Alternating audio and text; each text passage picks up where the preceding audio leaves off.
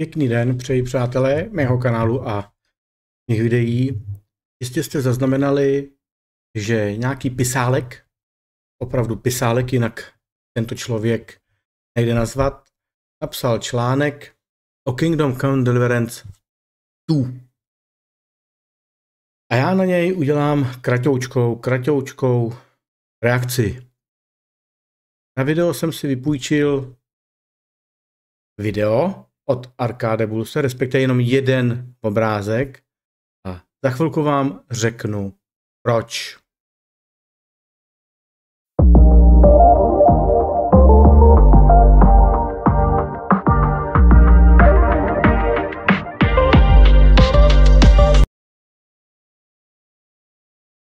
Tady vidíte, že článek opravdu vyšel na idnes.cz.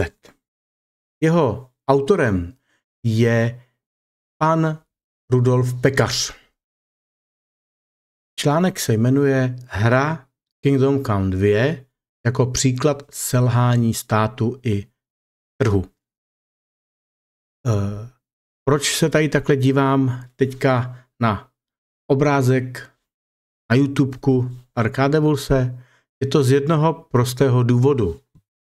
Tento článek Totiž, jenom přepnu okno, už je smazán nebo pozastaven. Hned vám to ukážu. Přepnu jenom stránky. Vidíte, požadovaná stránka neexistuje. Hledáte stránku, která neexistuje. Možná tu dříve byla. Možná jste použili odkaz s chybnou adresou. No jistě, soudruzi, to máme v ty brožuře, ne? Za lepší, za socialismus, ne? Ty vogo, pánové a dámy, tohle to je eh, neskutečné. Neskutečné. Už včera jsem se koukal a musím říct, že tam bylo docela hodně negativních reakcí na pána, který z mého pohledu, z mého pohledu vůbec neví, která by je. Pán nemá základní povědomí o tom, co je, co je trh, co jsou to daně, co jsou to veřejné peníze, co jsou to soukromé peníze a napíše takovýto blábol. Já zkusím uh, si to trochu přiblížit, abych vám aspoň kousek z tohoto článku přečetl, takže opět přepnu. Tak. A čtu.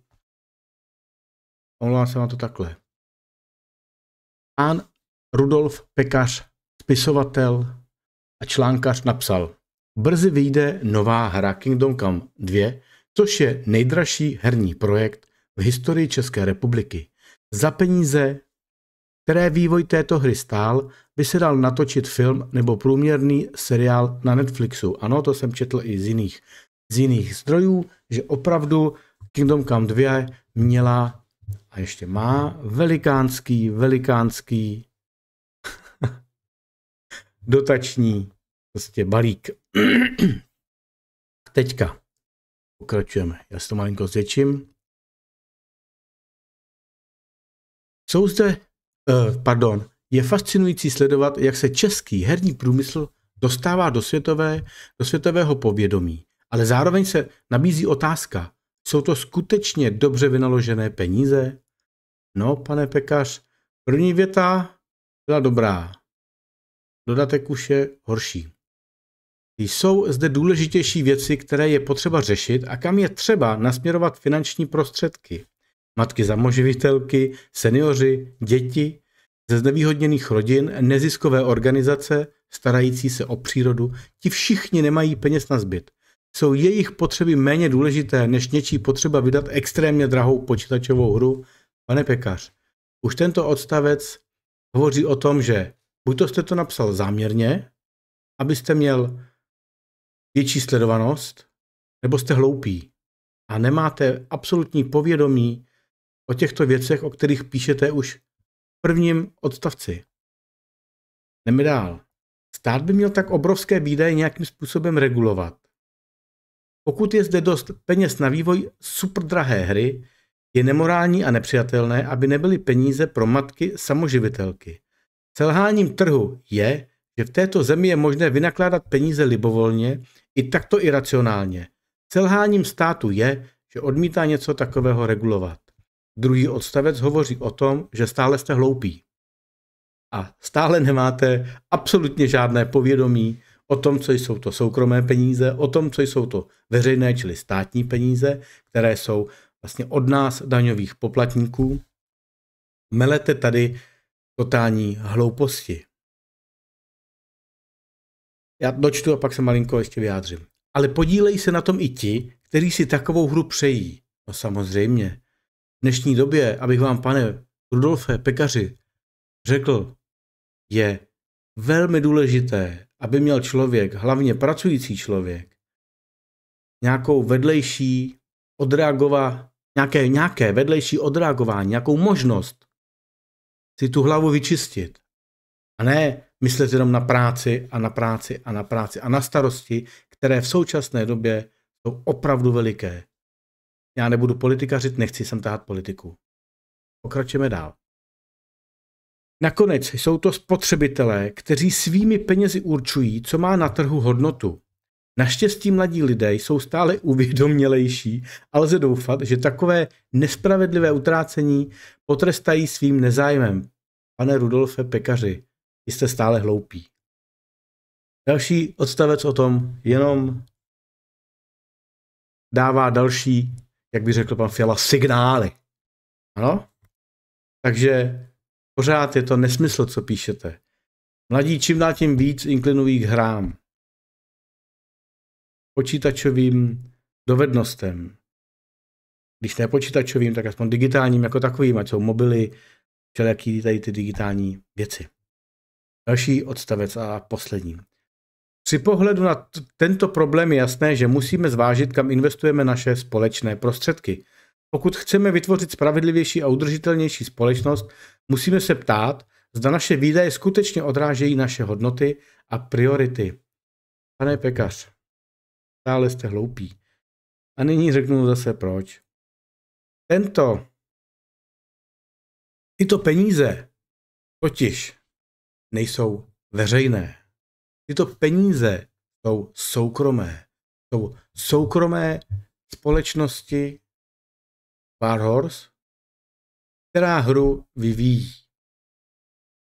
Jsou to peníze, které si tato společnost vydělala, tudíž to nejsou veřejné společné peníze.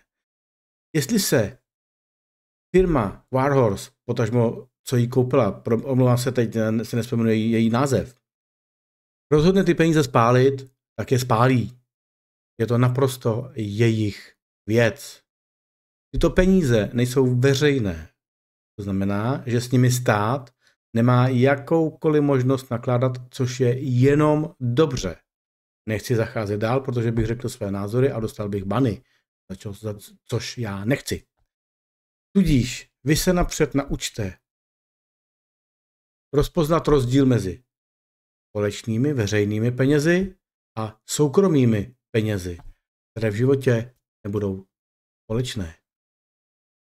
Vy tady píšete o něčem, o čem nemáte ani potucha. Nepouštějte se na takovýto tenký, opravdu tenoučký led, protože ten se s vámi hned při prvním jemném došlápnutí prolomí a vy si můžete pěkně narazit hubu od dno. Takže pane prach, eh, pekař, pardon, věnujte se, pište články, ale pište takové, kterým, eh, takové témata, kterým rozumíte. A ne tomu, o čem vůbec nic eh, nevíte. Že toto byla moje krátká reakce na článek, který je nyní stažený pro jistotu. Pan pekař, já vím, že tohle to číst, eh, teda číst, slyšet nebude, ani vidět, by se měl nad sebou opravdu hodně, hodně zamyslet, než něco napíše. Ještě k tomu takovouto velikánskou, velikánskou hloupost. Děkuji za sledování. pokud se vám tady ta kratoučká reakce a spíš takové moje vylítí si srdíčka, protože Kingdom Come jako takovou hru neskutečně miluji. Mám ní nahráno 2250 a něco hodin. Jedničce samozřejmě dvojka ještě nevyšla. A myslím si, že ve dvojce nahraju mnohem víc těch hodin. A on, pan pekař, napíše takový to nesmysl a blud, kdyby to aspoň byla pravda, ale nesmysl a blud, tak opravdu, pane pekař, věnujte se něčemu jinému. Mějte se ale krásně. A všichni taky. A dejte nějaký ten odběr, like, komentář a doporučte mě někde, ať mě viděj. Lešouna. Mějte se krásně, ahoj.